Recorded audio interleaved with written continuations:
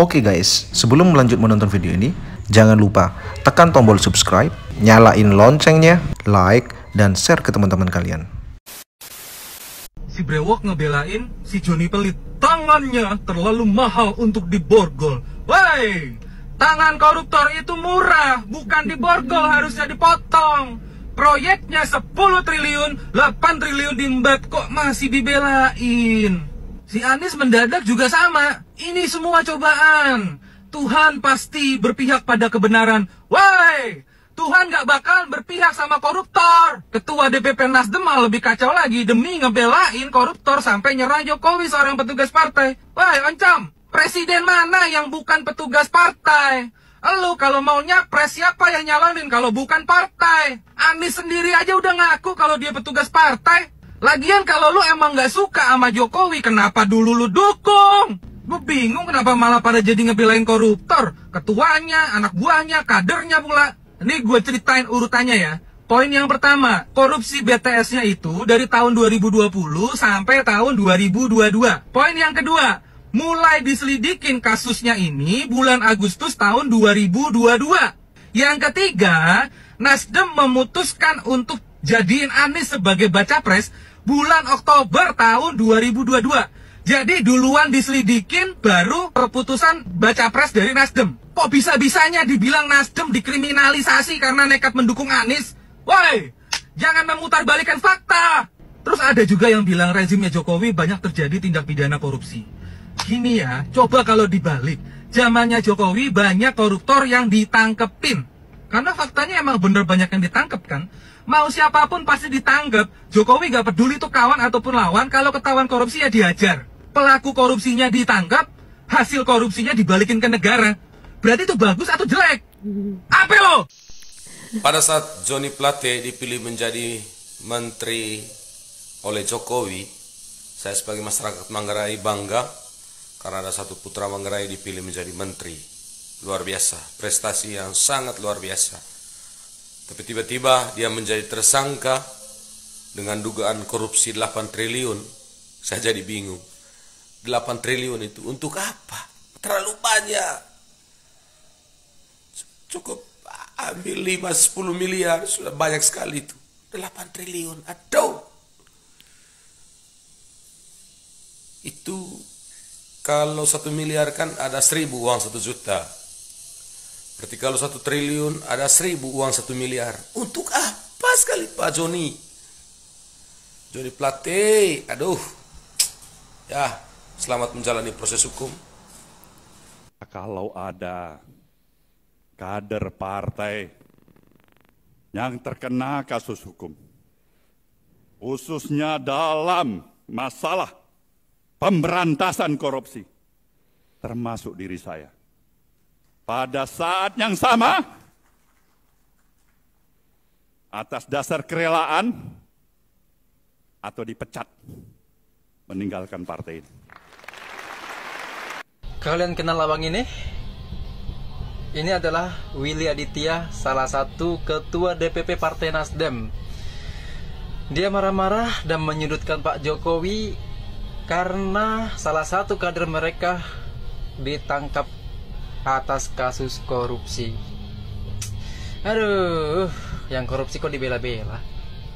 Mari kita lihat videonya. Saya sebagai orang yang waras mau ngajak kakak-kakak semua, teman-teman semua, tiga problem besar tidak pernah harusnya kita bukan memerangi identitas dan politisasi identitas tadi. Satu, perang terhadap korupsi dan politisasi aparat penegak hukum. Hari ini semua diinjak, hari ini semua diintimidasi, hari ini aparat penegak hukum semena-mena melakukan politisasi hukum. Resah tak kita? Gak ada apa. Semena-mena aja. Mau tangkap si A, tangkap si B, tangkap si C. Kenapa yang menjadi presiden tugas partai Pak, bukan pelayan rakyat. Yang menjadi presiden itu harus pelayan rakyat, bukan presiden partai bukan. Datangi Nasdem usai Joni Plate ditahan Anies, Allah akan berpihak kepada kebenaran. Aduh. Kasihan Anis makin tenggelam lah udah nih. Aduh. Pak Surya Paloh adalah sang legendaris politikus yang sangat handal loh. Saya salah satu daripada pengagum beliau dalam bidang politik karena memang beliau adalah sang legendaris di dalam perpolitikan uh, di, di Indonesia. Saran saya kepada Pak Surya, ya, diproses daripada waktu yang mungkin usia sudah mulai menua, ya, common of sense apa ataupun sensitivitas memang secara manusiawi sudah berkurang. Peristiwa daripada Pak Joni Plate, ya, yang di mana kita uh, tersandung hukum uh, uh, skandal korupsi, biarkan saja ini Pak Ketum, biarkan saja ini adalah peristiwa hukum, real peristiwa hukum. Jangan kita bangun menjadi uh, opini ataupun stigma seolah-olah ini adalah tembang pilih atau ini adalah ada tekanan daripada penguasa atau tekanan politik. Kita tidak bisa membangun opini tersebut. Kenapa saya bilang begitu Pak Ketum? Ya kenapa saya bilang begitu Pak Ketum? Kan jelas-jelas ya ada pagu anggaran di sana yang diselewengkan. Ketika ini dibangun seolah-olah ini ada tekanan politik segala macam atau tembang pilih, ya masyarakat akan menggiring, menggiring daripada ini menjadi uh, proses daripada penuntasan. Artinya penuntasan begini, Pak Ketum ya, mana ada, apakah iya? Ya seorang sekjen, seorang sekjen yang di mana kader yang ditempatkan sebagai menteri, yang di mana menteri mengelola uh, anggaran yang begitu besar. Terjadi peristiwa uh, di situ uh, korupsi di situ yang yang yang merugikan negara sekitar kurang lebih 8 triliun. Apakah ia seorang Johnny SPT tidak memberitahu atau berbicara kepada sang pimpinan ataupun kepada ketua umum? Kalau tidak, berarti Pak Ketum salah milih Johnny Plete. Kenapa? Dia tidak loyal. Dia bermain sendiri ketum. Begitu dong. Makanya saya bilang ada dua gendangnya, ya Beliau tidak loyal kepada pimpinan karena bermain sendiri tidak memberitahukan ada suatu anggaran di sana yang akan diselewengkan.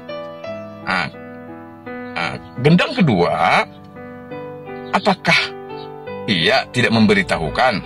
Jadi, uh, supaya ini tidak berlarut-larut, ya sudahlah, biarkan ini sebagai peristiwa hukum, jangan ditarik-tarik ke dalam politik, ada tekanan penguasa lah segala macam tekanan politik dan bla bla bla supaya ini bisa tidak melebar ke mana-mana, ya udah stop. Biarkan hukum berproses. Terima kasih.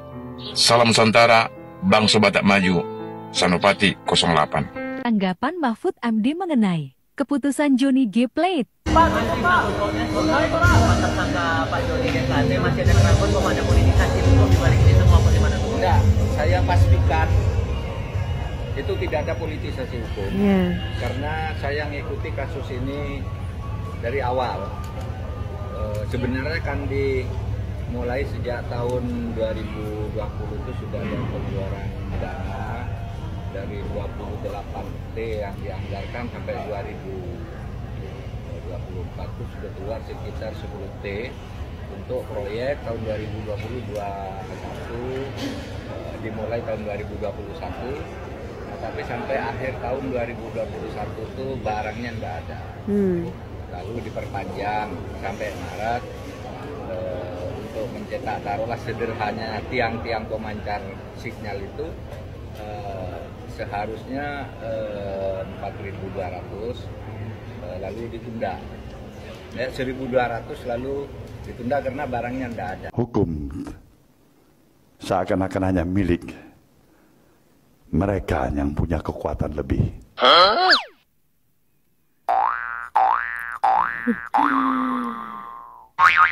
Pernyataan Ketua Umum Partai Nasdem Surya Paloh ini jadi sorotan para netizen. Sebab, mulut Surya Paloh dinilai sangat licin, seolah mengandung oli pelumas hingga mudah melontarkan kata apa saja sesuai kepentingan yang dia mau. Yang jadi masalah, para netizen justru jadi bingung sendiri. Soalnya, Para netizen tidak tahu persis, apakah pernyataan Surya Paloh itu ditujukan untuk mengkritik diri sendiri atau untuk mengkritik orang lain. Faktanya, Surya Paloh sendiri dikenal orang kebal hukum. Jejak kebal hukum itu setidaknya bisa dilacak ke Pulau Kaliage milik pribadi Surya Paloh di kawasan Kepulauan Seribu, Jakarta. Pada era Gubernur DKI Jakarta di jabat Ahok lalu, Surya Paloh melakukan reklamasi semaunya sendiri di Pulau Kaliage miliknya. Reklamasi ini untuk membangun tempat pendaratan helikopter pribadi. Sayangnya, proses reklamasinya tak pernah meminta izin kepada pemerintah DKI Jakarta. Makanya, reklamasi pembangunan landasan helikopter pribadi Surya Paloh itu akhirnya disegel. Lucunya, pada era Gubernur DKI Jakarta di jabat Anies Baswedan, wujud landasan helikopter Surya Paloh di Pulau Kaliage itu bisa terlihat berdiri megah. Selain itu, Surya Paloh juga bisa membangun gedung-gedung megah di Pulau Kaliage yang sempat dihentikan di era Ahok. Padahal, saat kampanye Pilkada DKI Jakarta 2017 lalu, Anies sering teriak-teriak menolak reklamasi di Jakarta. Lebih baik kami ambil posisi jelas tegas dan sampaikan pada semua kita akan ikhtiarkan keadilan di Jakarta. Karena itu, ini saya langsung buka. Judul kampanye kita adalah tolak reklamasi. Dengan kata lain, kata-kata Anies Baswedan dan Surya Paloh sama-sama selicin oli pelumas yang sulit dipercaya. Saat kampanye, Anies berjanji menolak reklamasi. Tapi saat menjabat gubernur, Anies malah menerbitkan izin reklamasi di Ancol. Selain itu, Anies juga menerbitkan ribuan izin mendirikan bangunan di Pulau Reklamasi. Anies dan Surya Paloh juga sama-sama termasuk tokoh kebal hukum. Anies tak pernah dijerat hukum atas banyaknya kasus kelebihan bayar di DKI Jakarta, kasus korupsi pengadaan lahan, hingga kasus penimbunan ribuan ton beras bansos sampai membusuk.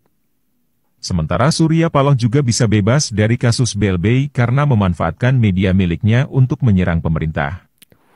Hal ini diungkap oleh jurnalis senior Pandana Baban. Yang sangat menyolok itu kasusnya Surya Paloh, BLBI Hotel Tiara. Nah waktu itu secara kebetulan saya bertandang ke tempat sekretaris kabinet Sudi Silalahi. Pas saya sampai ke tempat Pak Sudi Silalahi, Jaksa Agung Muda Pidana Khusus Endarman Supanji keluar. Saya tanya Pak Sudi, loh ada apa Jampitsus datang? Aduh, saya disuruh Jaksa Agung panggil dia supaya stop, jangan diteruskan lagi pemeriksaan Surya Paloh. Loh kenapa Surya Paloh? Ya dulu diminta diperiksa ada kasus BLBI Hotel Tiara Medan. Loh kenapa berhenti? Kenapa disuruh berhenti? Presiden nggak tahan serangan-serangan dari apa? Hmm. Dari Metro, dari TV, sama kemudian dari media. Daripada berkepanjangan ribut, ya suruh hmm. stop aja. Saya cerita itu ke Surya Paloh. Sur, kau pernah diperiksa di Jaksal? Iya, pernah sekali. Terus gimana? Ya udah nggak lagi gitu. Ada cerita begini loh. Kau tawa aja, wah, ada berapa tawa dia. Iya Pak, aku udah tahu itu. Karena Surya Paloh itu teman akrabku puluhan tahun. Gitu. Ya itulah cerita in intervensi yang apa yang konyol.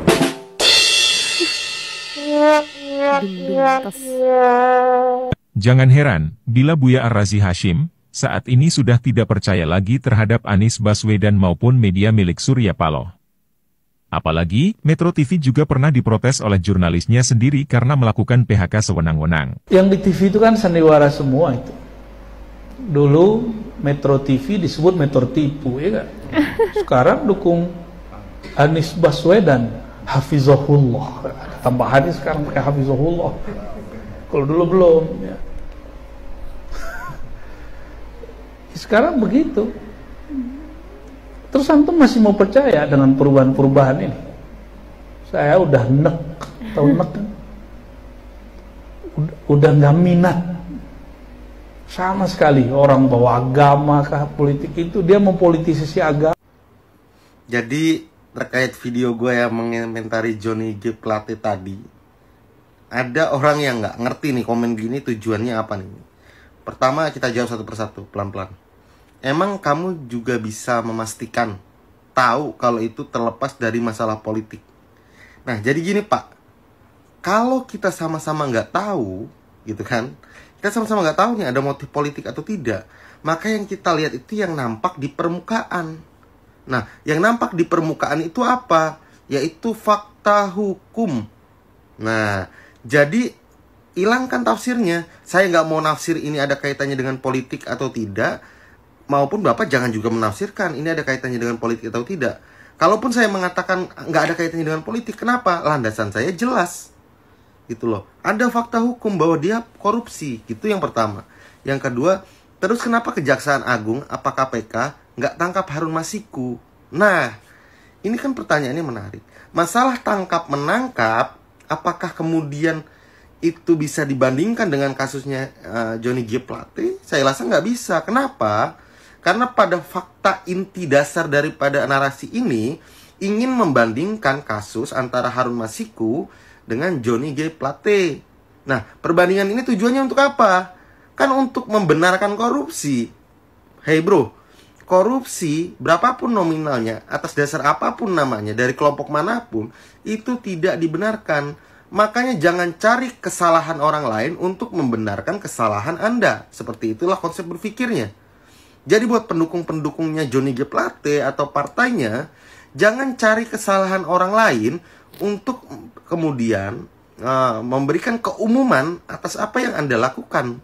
Karena itu juga bukan kebenaran. Nggak bisa kemudian kejahatan untuk membandingkan dengan kejahatan sehingga menjadi kebaikan atau keumuman kesetaraan. Nggak ada kesetaraan dan kejahatan. Sama-sama kejahatan intinya. Yang ketiga adalah fakta hukumnya Harun Masiku dan Johnny G. Plate itu sama-sama statusnya tersangka. Ini kan cuma tinggal bagaimana yang satu berhasil keciduk dan tertangkap, yang satunya melarikan diri. Nah, kalau terkait yang melarikan diri, itu sudah beda konteks. Konteks yang lagi saya bahas itu adalah status quote-nya itu adalah tersangka, status hukumnya adalah tersangka. Gitu loh. Jadi tidak ada tebang pilih di sini. Harun Masiku tersangka, Johnny G. Plate tersangka. Cuma bedanya yang satu kabur, belum tertangkap, yang satu lagi tertangkap. Nah, yang harus Anda lakukan ya, coba minta aparat untuk segera menangkap. Kan statusnya udah tersangka, bos. Jadi cerdas gitu loh. Jangan disatuin antara embek dengan kuda. Beda. Makasih. Assalamualaikum warahmatullahi wabarakatuh.